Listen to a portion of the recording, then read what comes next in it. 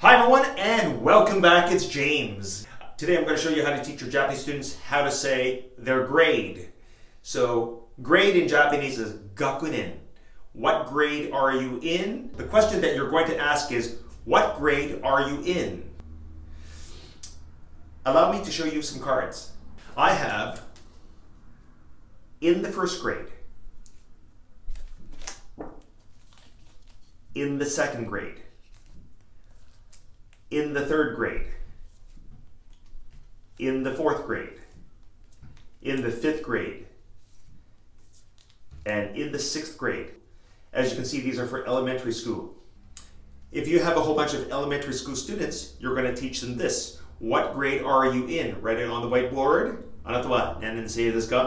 I have this in my repertoire. For every lesson, I do warm-ups. So this is part of my repertoire Uh, what grade are you in? And they'll have to say, I'm in the first grade.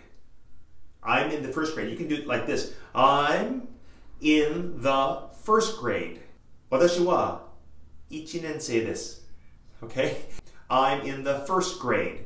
The reason why I do I'm in the first grade, I want my students to get used to the pattern. So you need to do this regularly. Uh, at least that's what I do. What grade are you in? I'm in the second grade. Okay. I'm in the second grade.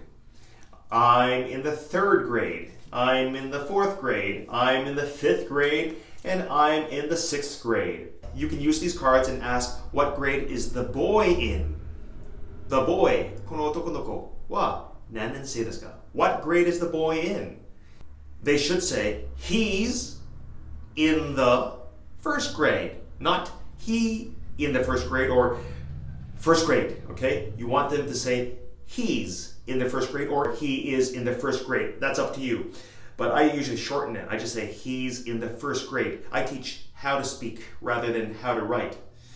So depending on your approach, okay? Uh, do it this way and do it regularly. Put this in your repertoire. Do it in your warm-ups, okay? This is the best way for eikaiwa. And that's it for this video. Thanks for watching, guys. Bye.